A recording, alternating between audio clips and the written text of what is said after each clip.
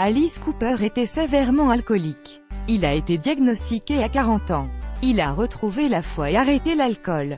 Alice Cooper a arrêté de boire et d'après le rocker mythique, il doit sa survie à la religion.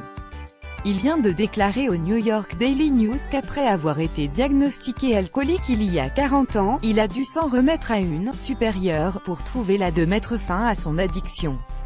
Tout ce qui pouvait mal se passer était arrivé dans mon corps. J'avais commencé à boire avec Jim Morrison des Doors, avec Jimi Hendrix, et Kiss Moon et ils sont tous morts à 27 ans. Juste après son diagnostic, le chanteur dit avoir retrouvé la foi et n'a jamais retouché à la boisson. Ma femme et moi sommes tous les deux chrétiens. Mon père était pasteur, mon grand-père était évangéliste. J'ai grandi dans une église, puis j'ai choisi de m'en éloigner le plus possible et quand j'ai failli mourir, j'y suis revenu, a-t-il révélé. Plus grand que plus grand que à lire aussi, vidéo.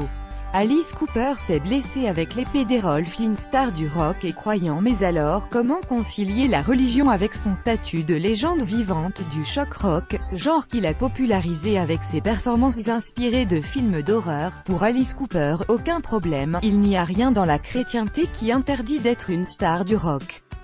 Les gens ont une idée très biaisée de la religion chrétienne. Il pense que c'est très précis, qu'on ne fait jamais d'erreur et qu'on passe notre temps à prier, ou qu'on est de droite. Mais ça n'a rien à voir avec ça. Il s'agit simplement d'une relation avec Jésus-Christ, a-t-il expliqué.